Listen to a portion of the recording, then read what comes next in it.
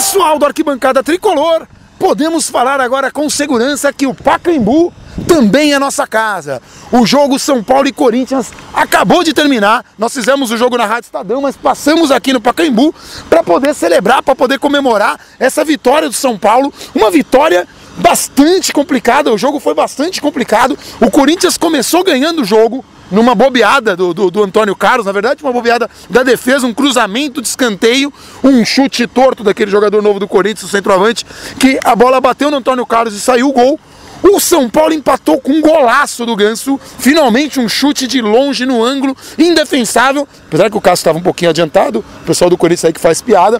Aí foi o segundo tempo, o São Paulo virou numa jogada de Douglas, sério, que tocou pro Pabum, que cruzou pro Luiz Fabiano. O Luiz Fabiano fez o gol, fabuloso, voltando a fazer gol aí no campeonato, e agora é artilheiro absoluto.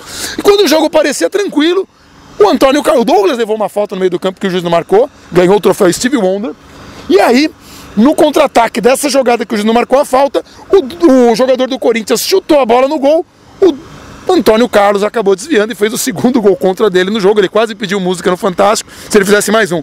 Aí o jogo ficou nervoso, todo mundo achando que o São Paulo ia, podia empatar e ter a, a chance de não ganhar mais um clássico. O último clássico que a gente ganhou foi contra o Corinthians aqui nesse Pacaembu com a equipe reserva, o São Paulo com a reserva, o Corinthians com a titular. Mas Rodrigo Caio de cabeça desempatou. São Paulo ganhou de 3 a 2. Enfim, foi uma alegria. Tirou aquele peso. O Corinthians fez de tudo. Colocou Danilo, colocou Emerson Sheik, colocou tudo que podia. A ressalvo: Souza se machucou, pode ser grave. A gente espera que não, porque é um jogador que fez bastante diferença. Tanto que no primeiro tempo São Paulo ficou com 66% de posse de bola. Aí depois entrou o Wellington, isso diminuiu. O Corinthians deu uma, uma. Assim, se regulou no jogo, deu uma equilibrada.